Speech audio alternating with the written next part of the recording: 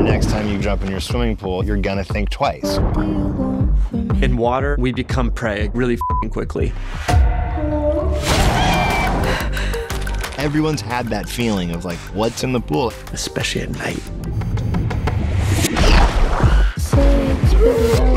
What is it exactly? You feel something swim past your leg. Like, It's like, yeah! Oh my God! I don't like thinking about those things.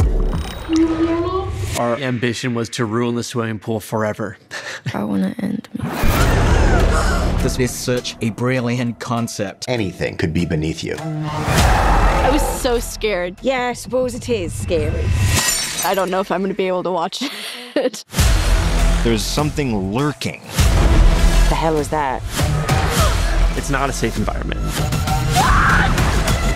It's so much fun. Don't swim alone. All fall asleep, where do we go?